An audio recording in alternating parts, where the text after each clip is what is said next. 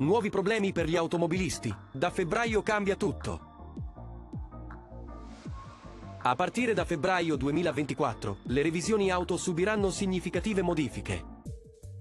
Queste novità sono state dettagliate nella circolare PROT numero 33287, pubblicata il 7 novembre 2023 dalla Direzione Generale della Motorizzazione. Le principali innovazioni riguardano l'uso obbligatorio dei controlli tramite OBD, On-Board Diagnostics, e la verifica dei chilometri percorsi, per contrastare eventuali manomissioni dei contachilometri.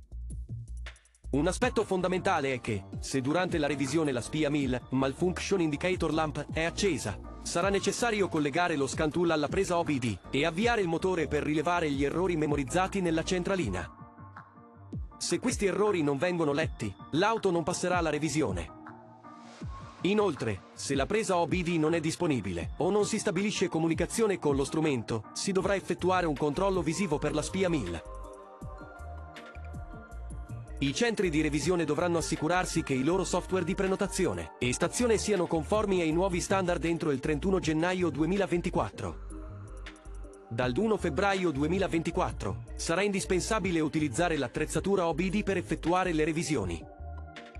Inoltre, i centri dovranno comunicare all'UMC, Ufficio Motorizzazione Civile, lo schema di collegamento o aggiornare i contagiri esistenti secondo i termini stabiliti. Le nuove regole introdurranno anche un controllo sui consumi di carburante, in particolare per i veicoli immatricolati dal 1 gennaio 2021, i cui dati saranno raccolti a fini statistici.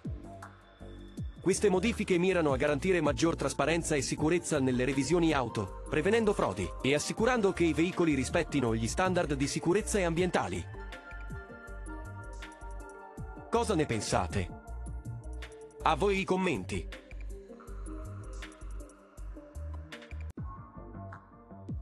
Se il video ti è piaciuto, metti mi piace, iscriviti al canale e clicca la campanella per ricevere gli aggiornamenti.